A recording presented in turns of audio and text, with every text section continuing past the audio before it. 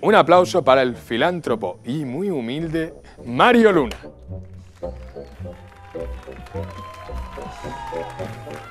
Mario, bienvenido a Noche sin Tregua. En fin, dices que eres un maestro de la seducción, pero esa mano fracturada indica lo contrario, amigo. Pero sí, Este sí, tío, ¿de se puede absolutamente.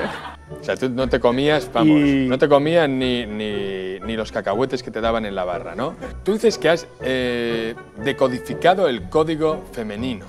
Venga, tú y cuántos, chaval. A ver, si el truco es ir probando hasta que funcione, sí, pero claro, es que también eso, también escribo un libro yo, ¿sabes, Mario? Con eso. Quiero decir, eh, realmente buscar la atracción. La... Pero Si no con las tías, o sea, este, me le- estáis diciendo que las acosáis como lobos a un reno. Hace poco le hice hacer a, a un alumno mío, ¿vale? Se tenía que acercar a una. a un joven Padawan.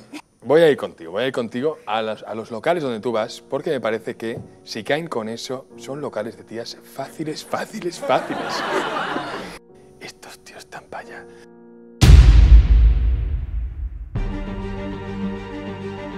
Has escrito un librazo tremendo, eh. cuidado que esto no es de un día ni de dos. Entonces, para escribir este libro, yo pienso, algo de verdad tiene que haber. O sea, este tío realmente Algo- tiene que algo habrá, ¿no? Algo Algo habrá. Este tío tiene que saber ligar, pero el arte de la seducción se puede llegar a dominar. Se puede llegar a ser letal. ¿De dónde vienes, Mario Luna? Pues vengo de la desesperación, de, del hambre más absoluta, de, de decir realmente, o sea, esto, esto, tío, aquí tiene que haber leyes. O sea, si me puede ir tan del culo, ¿vale? Eh, esto tiene que tener una explicación científica. Yo era, yo era realmente muy frusco, era muy frusco. Hablemos de eso. Frusco Javens. Cuéntame Espera. qué son los fruscos y qué son los es Javens. un frustrado corriente. Es una persona que siente, básicamente, no me quiero poner muy serio, pero básicamente es que mm, no te sientes en control de tu vida sexual y emocional. Mm. Vamos, que no depende de ti, ¿vale? En cambio, un Aven es una persona que ha conseguido dominar ese tema. Yo no soy el típico ligón al que le preguntas y te dice, eh, no, no, tío, sé tú mismo. O, no, tío, es que mira, mira qué botas tan chulas que llevo. O sea, yo te explico realmente lo que hago, todo lo que hay detrás, todos los O sea, ¿tú crees que hay un método Y que puede aplicar código. cualquiera? Danos tres o cuatro trucos. Vale, a ver, un una cosa hay que... que- hay que hacer Sí. siempre y una que no haya que hacer nunca. Vale, una cosa que no hay que hacer nunca, por ejemplo, es confundir la aprobación con la atracción. Principios básicos, mira, un principio muy importante es tener claro que tú eres el premio. O sea, como sea eso lo que funcione, porque a ti te ha funcionado. Acaba, acaba, acaba funcionando, eh. es el problema.